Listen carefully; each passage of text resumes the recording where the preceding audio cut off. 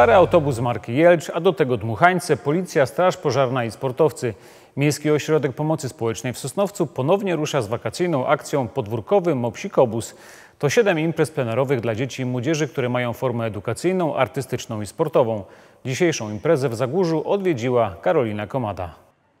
To taka objazdowa świetlica, która jeździ po najdalej oddalonych dzielnicach Sosnowca. Dzięki temu już kolejny rok z rzędu dzieci spędzające wakacje w mieście mogą uczestniczyć w zajęciach edukacyjnych, artystycznych i nie tylko. W innych punktach mamy prze, y, mm, zaplanowane atrakcje bardziej sportowe, bardziej rozrywkowe.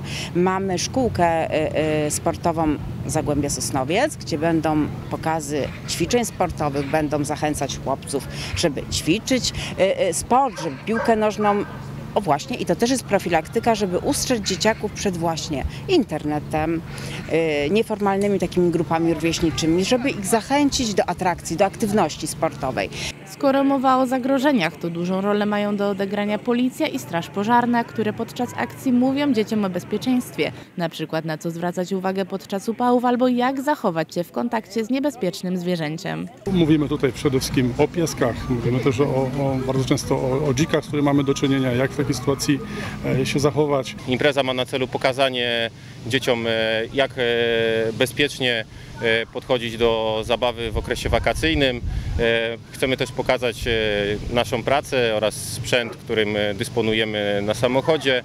W kolejnych tygodniach świetlica na kółkach dotrze także do innych dzielnic Sosnowca, m.in. Juliusza, Milowic i Kazimierza. Będą zajęcia aktorskie, taneczne, malowanie twarzy, a także poczęstunek i konkursy.